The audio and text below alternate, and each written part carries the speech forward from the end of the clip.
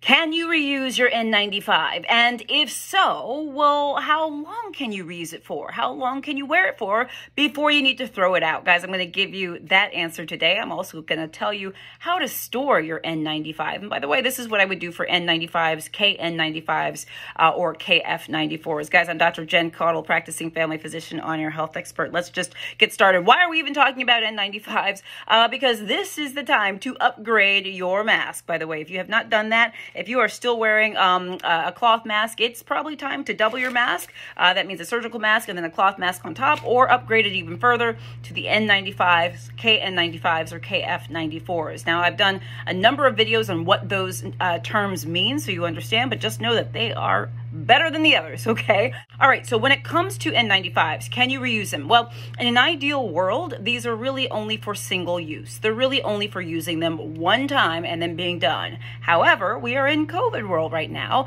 and for use amongst the public, this is not hospital workers and healthcare workers and stuff like that, the guidelines, I don't even want to say guidelines, but expert opinions that, yeah, we can probably reuse them to some degree in the general public. So this is what I recommend you do. This is what I'm doing myself.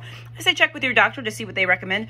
For your N95, I recommend having a few N95s that you have in a rotation, five to seven or whatever. You know, if you have a family, you know, each of them, each person gets four to five masks, something like that. Number them, one, two, three, four, five, on the outside or on the strap or what have you.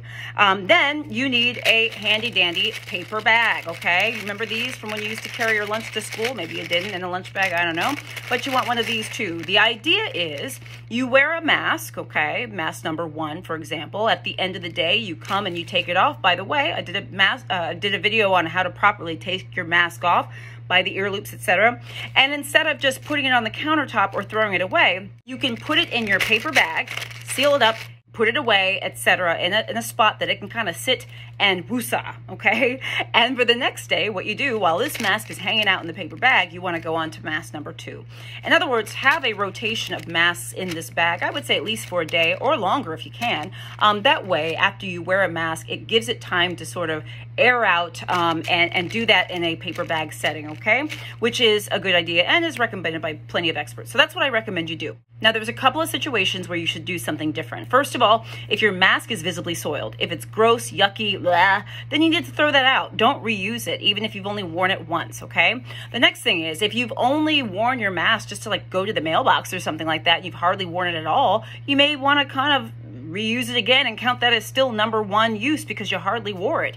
Um, in terms of how many times you can rewear the mask, um, there is some some information in the CDC. There's a reference to five uses. Um, some experts say five uses. I go with that too myself in my household. Five uses per each mask, so long as they're not soiled, damaged, all that kind of stuff. Use your good common sense. If the mask is schmutzy, don't reuse it, even though you theoretically could for a mask that was not soiled up to five times, okay? I should also remind us that the CDC and other organizations might come out with guidelines specifically about this um, that might change what I have mentioned prior. So we'll have to keep our eyes and ears open for uh, any new guidelines or recommendations that come down the pike. So those are a couple things I would um, kind of keep this in mind. Do not wash your N95s, KN95s and KF94s. Do not wash them with soap and water, okay?